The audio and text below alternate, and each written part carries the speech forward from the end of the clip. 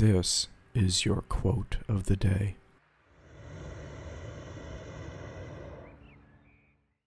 Today's quote comes from Albert El Elron? Albert Elbert Hubbard. When life gives you lemons, ask, why not money? Seriously, God, what the f? You know I have bills that are overdue. How the f am I gonna pay for that with lemons, huh? I'm not talking to myself, Charlene. Just shut the door and stay inside. Go ahead, God. If you want to f me, then f me. Lose this lemon sh and f me. Ooh, lightning.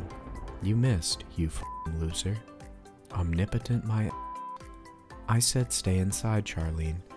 The only things out here are some wimpy storm clouds and these lemons.